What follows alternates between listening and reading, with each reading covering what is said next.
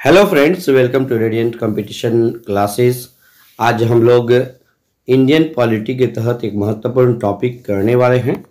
और इससे संबंधित पीटी में भी क्वेश्चन पूछा गया था तो ये बहुत ही महत्वपूर्ण है मेंस के एग्ज़ाम के लिए। एक राष्ट्र, एक चुनाव का क्या तात्पर्य है? भारत में इसकी सफलता और विफलता पर तर्क संगत व्याख्या दें। तो ये बहुत ही इंपॉर्टेंट कि एक राष्ट्र, एक चुनाव बहुत हाईलाइटेड बात है। आप इसको थोड़ा सा देख लीजिएगा, मैं हेल्पिंग मटेरियल आपको दे रहा हूँ। लोकतांत्रिक भारत में लोकसभा और विधानसभा का चुनाव एक साथ कराए जाने की प्रक्रिया को ही एक नारा का रूप दिया गया है, जिसे वन नेशन वन इलेक्शन कहा गया है। भारत के विधि आयोग द्वारा एक श्वेत पत्र मसौदा जारी कर 2019 में लोकसभा और विधानसभाओं के चुनाव साथ साथ कराने की सिफारिश की गई है। ज्ञातव्य है कि श्वेत पत्र आयोग की संभावित सिफारिशों की एक श्रृंखला है। एक साथ चुराए, चुनाव कराए जाने के पक्ष में तर्क। आप यदि, जो कि क्वेश्चन में ही कहता है, पक्ष में और विपक्ष में आपको तर्क देना है, और इसे आपको पॉइंट वाइज ही एग्ज़ाम में लिखना है तो एक साथ चुनाव कराए जाने के पक्ष में तर्क यदि आप दीजिएगा तो वन नेशन वन इलेक्शन में सबसे पहला तर्क यह दिया गया है कि वह विकासोन्मुखी विचार है। यद्यपि चुनाव की बारंबारता के कारण बारंबार या बार बार आदर्श आचार संहिता लगाए लगाना पड़ता है, जिससे सरकार आवश्यक नीतिगत निर्णय नहीं ले पाती है और विभिन्न योजनाओं, परियोजनाओं की गतिविधियाँ प्रभावित होती है। इससे विकास अवरुद्ध हो जाता है। ये आप पक्ष में तर्क दे सकते हैं कि बार बार चुनाव होने से क्या होता है? आचार, आदर्श आचार संहिता जो है, वो लगाना पड़ता है, जिसकी वजह से जो योजनाएँ क्रियान्वित की जा रही है, वो प्रभावित होती है या नई कोई भी चीज़ों पर डिसीज़न नहीं ले पाती है। पहला तर्क है। दूसरा तर्क है, इससे चुनाव पर होने वाले भारी खर्च में कमी आएगी और राष्ट्रीय कोष में वृद्धि होगी। यानी दूसरा तर्क आप दे सकते हैं कि इसमें जो खर्च होता है चुनाव में बार बार कराने पर, वो खर्च जो है कम होगी और राष्ट्रीय कोष में वृद्धि होगी। एक आकलन के मुताबिक पाँच वर्षों में देश में होने वाले समस्त चुनाव, लोकसभा, राज्यसभा, विधानसभा स्थानीय निकायों के चुनाव का कुल खर्च यदि जोड़ा जाए तो यह भारतीय तो यह भारी खर्च वाला चुनाव होगा। तीसरा पॉइंट में आप दीजिएगा, लोकसभा और विधानसभा के चुनावों को एक साथ कराए, कराने से काले धन पर रोक लगेगी और भ्रष्टाचार पर कुछ लगाम लगेगी। यह चुनाव सुधार की दिशा में कारगर सिद्ध हो सकता है। ये तीसरा पॉइंट में आप ज़रूर डाल दीजिएगा। उसके बाद देखिए, चौथा, इससे कर्मचारियों की के मूल कृतियों के निर्वहन में तीव्रता आएगी। साथ ही लोगों के सार्वजनिक जीवन के व्याख्यान में भी कमी आएगी। गौरतलब है गौरतलब है कि हमारे यहाँ चुनाव कराने हेतु तो शिक्षकों एवं सरकारी कर्मचारियों की सेवाएँ ली जाती है, जिससे उनका मूल कर्तव्य, मूल कार्य प्रभावित होती है। उसके बाद देखिएगा, ये तो बहुत ही इंपॉर्टेंट बात है।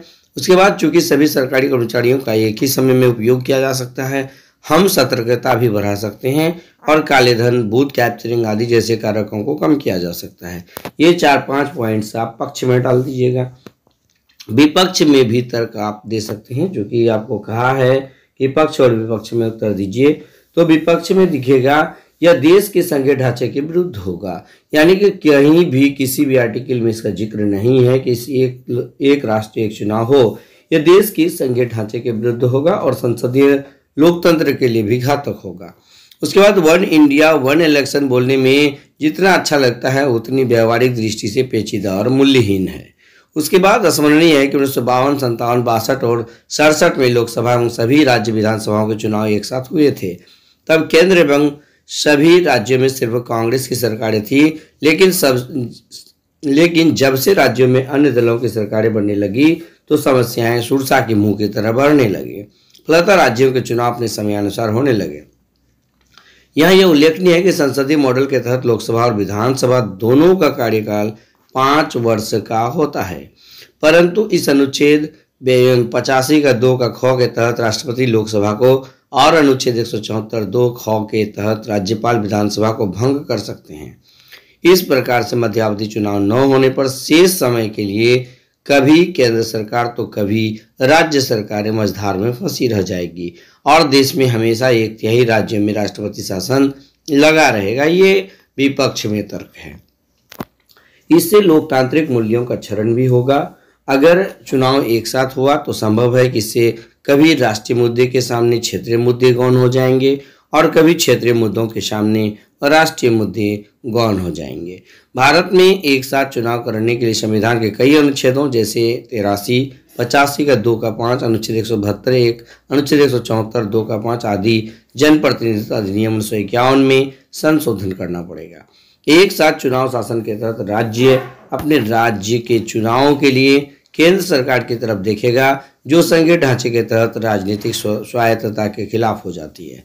उसके बाद देखिएगा, एक साथ चुनाव होने पर केंद्र व राज्य दोनों जगह एक ही पार्टी के वर्चस्व को बढ़ावा मिलेगा। इससे देश में अधिनायकवादी, तानाशाही सरकार के उत्थान की प्रवृत्ति प्रबल होगी, जो संघीय लोकतंत्र के लिए खतरा साबित होगा।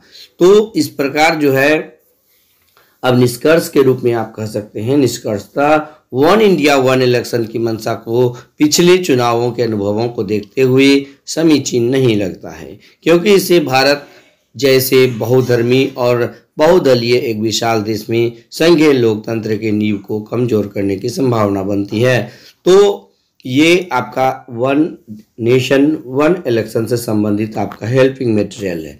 आप इसको एक से दो बार देख भी लीजिएगा। इसका पीडीएफ मैं आप लोगों को उपलब्ध करा दूँगा हमारे टेलीग्राम चैनल पर। आप वहाँ से भी इसको प्राप्त कर सकते हैं और हेल्पिंग मटेरियल के रूप में यूज़ कर सकते हैं। लिखने का तरीका कम्प्लीटली आपका होगा और आप इसको जिस भी उद्देश्य जिस तरह से डायग्राम के माध्यम से भी लिख सकते हैं दोस्तों। तो बस आज के वीडियो में इतना ही। धन्यवाद।